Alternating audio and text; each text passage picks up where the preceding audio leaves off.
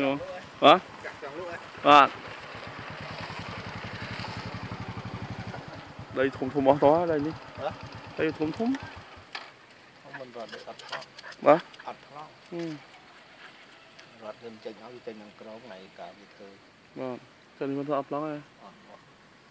Ờ, chỉ chân thới bên đây rồi đây chờ đâu. Chờ tập cặp cho một cái. Ừ.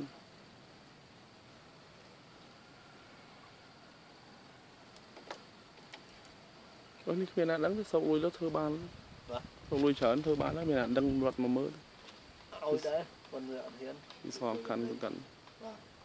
តែចុះមកហ្នឹងវានិយាយដែរវាគេអត់ហ៊ានដល់ជាប់ធ្លាក់ណាតែដឹងធ្លាក់មកចឹងចុះគុកគឺថា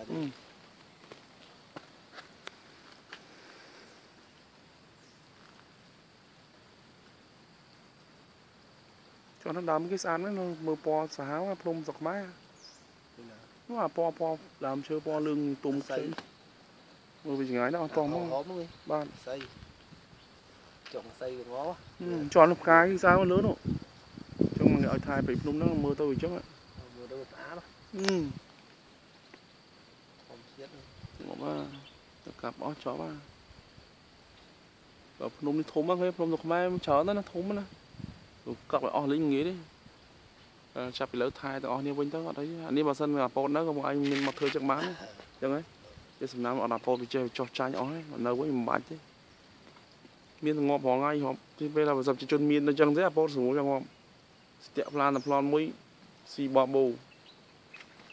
ហើយបើវាសើមកើតមានចារកម្មនៅក្នុងស្រុកដល់ណាមានទៀតចាប់